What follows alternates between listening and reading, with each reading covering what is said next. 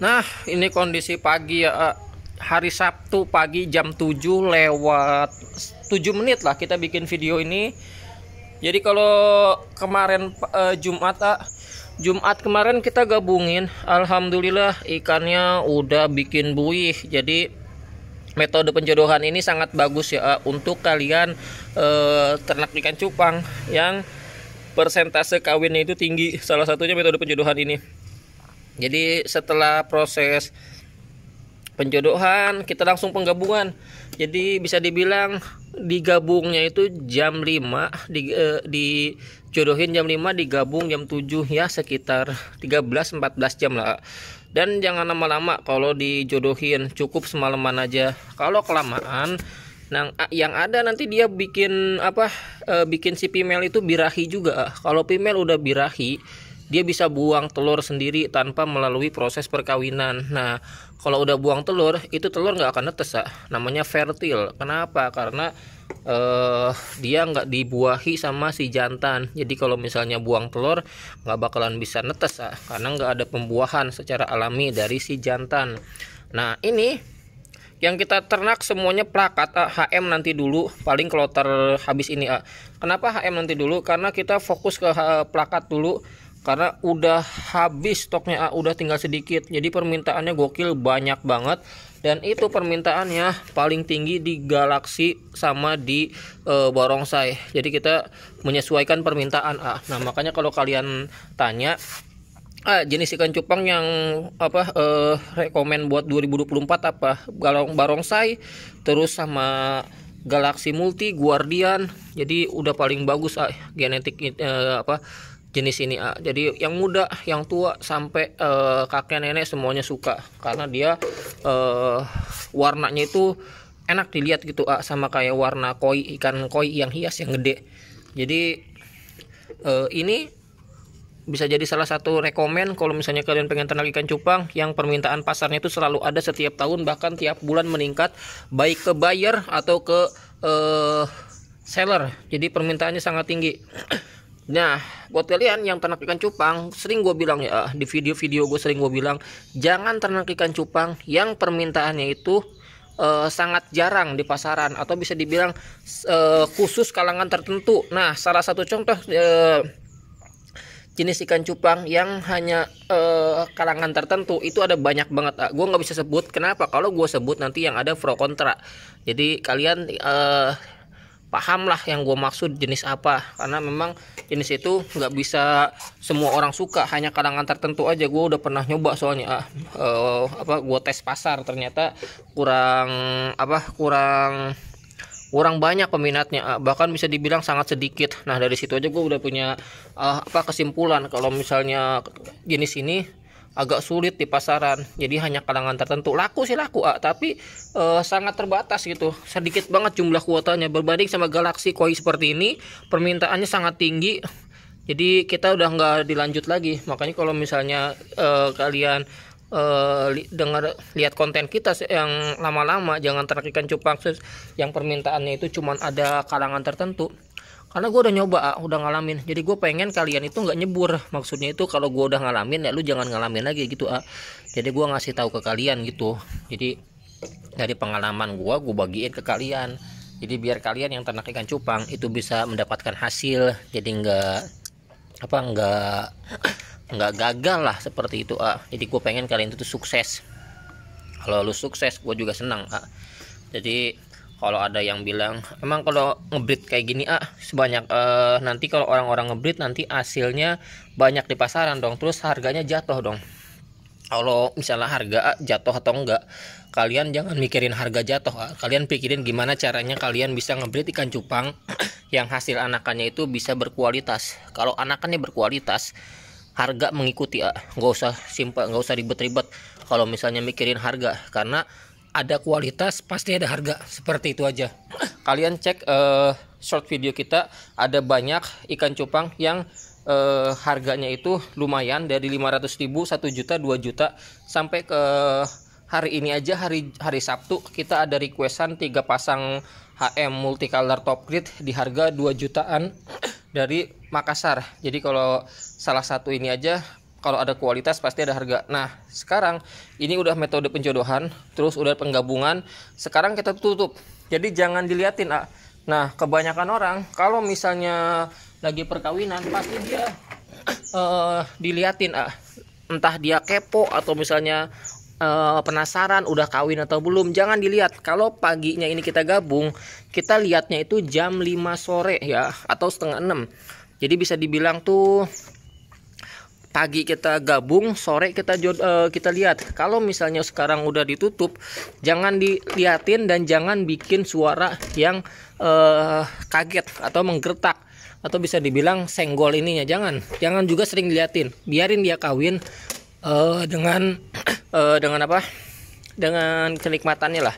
Jadi kalau misalnya lagi kawin jangan diganggu. Kalau misalnya diganggu dia bisa stres bisa gagal kawin jadi percuma kalau misalnya kalian ngebrit ikan cupang kalau sering diliatin gagal kawin nah, itu bisa menyebabkan ikan stres. Jadi pokoknya uh, semangat buat kalian yang ternak ikan cupang untuk uh, mendapatkan hasil di anakannya. Jadi bisa dapat rezeki lah. Kita udah di farm atas ya jadi setelah pagi kita gabungin sekarang sore jam setengah enam kita mau ngecek udah kawin atau belum yang sering gue bilang. Kalau kawin jangan sering dilihat bisa menyebabkan kegagalan. Dan ini posisi jam berapa ya? Jam 6 ah, setengah 6 setengah 6 kita akan langsung ngambil air dulu. Jadi ini untuk penampungan ikan ya yang sudah selesai kawin. Nah dari sini dulu pokoknya buat kalian yang ternak cupang sering gue bilang ah, cetak yang berkualitas minimal standar induk nah standar induk itu meliputi apa sortiran minimal sortiran kedua jangan ngambil sortiran ketiga Kenapa? Karena sortiran ketiga itu udah ikan sisa, ah. ibarat kata reject kalau di sini, ah. Jadi jangan sampai ngambil ikan uh, sortiran yang kurang bagus. Ibarat kata kalau kalian beli apa uh, bibit lele, Nah, pasti kalian uh, pengen pilih bibit lele yang berkualitas. Pasti yang utama itu bibit lele yang berkualitas itu ada ciri-cirinya. Nah, sama di ikan cupang, ah, ciri-ciri ikan cupang yang minimal uh, berkualitas, minimal sortiran kedua, jangan sortiran ketiga apalagi sortiran keempat karena bisa menghasilkan anakan yang uh, kurang bagus, kurang stabil. Ah, kalau di sini kayak gitu, intinya kayak gitu ah. Jadi gua ngasih tahu buat kalian biar kalian kalau ngebreed itu nggak banyak reject ah. Jadi gue pengen kalian itu ngebreed ikan cupang terus kalian men, apa mengeluarkan biaya pakan tenaga pikiran segala macam kalian bisa mendapatkan hasil di anakannya ah. nah gue pengen uh, apa kalian itu bisa mendapatkan hasil di anakannya ah. nah minimal kalau misalnya kalian pengen yang standar induk harganya terjangkau kalian bisa langsung ke Instagram kita di calon cuan. Di situ harganya mulai dari 50.000 100 ribuan. Itu udah uh, settingan induk sortirannya udah paling ajib udah gitu settingan juga. Pokoknya kita support terbaik buat kalian. Ah biar kalian mendapatkan hasil juga di anakannya. Udah banyak testimoni yang yang anakan yang anakannya pada panen. Ah, alhamdulillah mohon maaf ya suaranya gesrak nah ciri ini ciri ini ah udah kawin jadi kalau misalnya dilihat ini female-nya udah kempes. Kalau udah seperti ini tinggal kita angkat aja. Jadi eh, kalau udah kawin tinggal kita angkat. Jadi alhamdulillah ini udah kawin. Jadi kalau udah kawin di sini tuh kelihatan ah perutnya kempes. Kenapa? Karena female-nya ini full telur ah, awalnya tuh. Sampai habis telorannya ah, tuh. Sampai habis. Jadi kalau udah seperti ini kita tinggal angkat aja. Jadi nanti besok kita kasih cacing sutra. Jadi sekarang itu kita nggak pakai cacing sutra dulu. Kenapa? Karena posisinya sekarang nggak ada cacing sutra habis ah. Jadi besok kita kasih cacing sutra. Nah ini juga sama. Ini awalnya gendut tapi sekarang udah kempes. Artinya ini udah full telur. Nah telorannya ah liatin ah. Telorannya banyak banget ah telorannya banyak banget tuh telorannya. Alhamdulillah udah kawin. Jadi kalau udah kawin seperti ini tinggal kita angkat aja jadi mau pakai tangan, mau pakai serokan bebas. Yang penting jangan sampai uh, airnya itu keguncang. Nah, kalau udah seperti ini nanti kita angkat sampai ke sampai selanjutnya ya. Uh, sampai selanjutnya sampai ke sana kita angkat. Nah, ini posisi hujan uh, uh, agak gerimis, agak udah mulai agak-agak hujan deras juga. Jadi uh, buat kalian ya uh, yang baru memulai usaha di ikan cupang, kalian nggak ada kata terlambat, nggak ada kata terlambat. Jangan sampai kalian bilang uh, ah harganya udah nggak stabil terus harga ikan cupang turun musiman segala macam. E, jadi gini ya yang dibilang ikan cupang musiman itu khusus bocah. Jadi bocah itu ada masanya. Ketika mereka suka mereka serentak hobi. Tapi ketika mereka udah nggak suka ngadu cupang mereka pindah ke hobi yang lain. Kenapa gue bisa ngomong kayak gitu? Karena pelakunya gue sendiri ah gue dulu waktu SD kelas 4 kelas 5 kelas 6 itu tiga tahun berturut-turut. Waktu cupang di uh, di apa di di rumah gue tuh lagi musim ngadu cupang. Dulu gue juga beli ikan cupang ke petani di Bojongkulur dulu ada peternak ikan cupang dua tempat. Nah gue beli di sana tiga ribu dua ribu terus gue jual lebih lebih lebihin seribu dua ribu itu alhamdulillah bisa buat jajan gue lebih ah. nah musim bocah itu paling cuman seminggu dua minggu ah, lamanya. Setelah itu hilang lagi pindah ke kelereng pindah ke gambaran. Nah beda di ikan cupang hias atau lagi online. Kalau online kita cangkupannya bukan uh, bukan musiman ah, tapi di sini kita uh, fokus ke ikan itu untuk menghasilkan warna, menghasilkan kualitas genetik yang stabil. Ketika di breeding, dia rijekannya sedikit, menghasilkan keturunan yang bagus, anakan yang berkualitas dan juga yang pasti menghasilkan uh, apa? Value untuk kalian. Jadi ketika kalian beli indukan di Galaxy Co Indonesia, anakannya bisa jadi rezeki. Ah. Nah, anakan yang bisa jadi rezeki itu itu bisa mendapatkan uh, apa nilai feedback atau nilai plus untuk kita juga. Kenapa? Karena berarti uh, hasil dari genetik kita itu bisa bermanfaat buat kalian ah jadi kalau misalnya ada istilah ah emang kalau misalnya di breeding di sana terus jadi genetiknya kesebar nanti jadi pesaing dong terus nanti bisa jadi nurunin harga A sendiri terus nanti bisa enggak laku dong ikan karena udah pada pindah ke yang lain beli genetiknya. Kalau misalnya rezeki sering gue bilang gak usah mikirin ke arah sana. Rezeki gue udah ada yang takar. Begitupun juga kalian.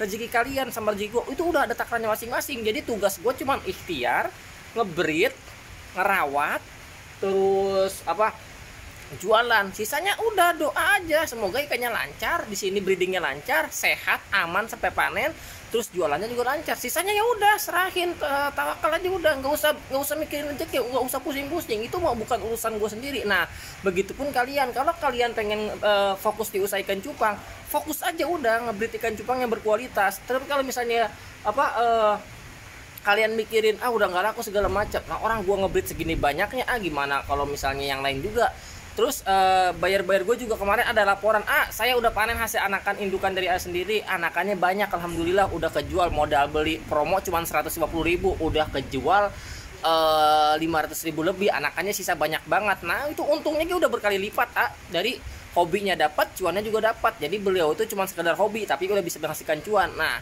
jadi di situ aja gue udah senang artinya genetik gue udah bisa menghasilkan uh, sesuatu untuk bayar gue sendiri apalagi ngambil yang kualitas top grade seperti itu. Jadi buat kalian pokoknya nggak ada kata terlambat kalau kalian pengen memulai usaha dari sekarang ya yang penting kan konsisten fokus dan juga terus belajar. Sama gue juga belajar untuk meningkatkan anakan-anakan yang berkualitas dari hasil indukan dan juga settingannya. Jadi kalau ada manfaatnya diambil kalau ada buruknya dari gua, dari pribadi gue sendiri mohon maaf.